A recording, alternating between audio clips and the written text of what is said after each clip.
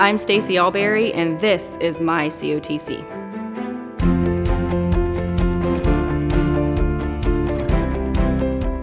When I was younger, I was a Girl Scout, and we had a lot of interactions with the police department. They were like mentors to me, and I just always knew that I wanted to work in that field of public safety and help as many people as possible. After COTC, I plan to continue my education to get my bachelor's degree, and then I want to focus on a career in Homeland Security.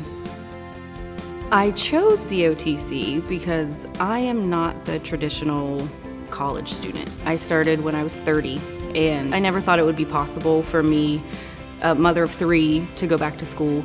I learned about COTC online, and I just went to visit. Everybody was very nice. They made me feel really comfortable. They made me believe that I could do it, and three years later, I'm getting ready to graduate.